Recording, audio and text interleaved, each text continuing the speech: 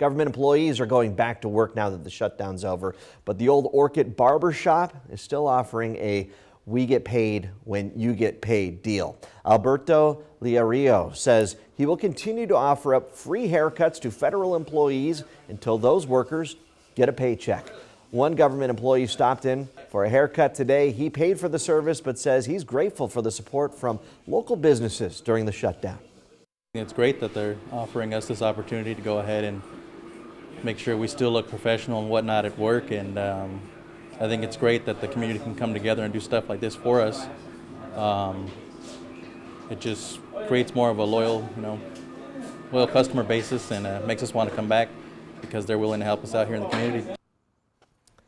Looking good too. He says he's been working without pay since December 22nd. He's expected to get paid this week. As for Leo Rios, he says he's given out about a dozen free haircuts since the shutdown.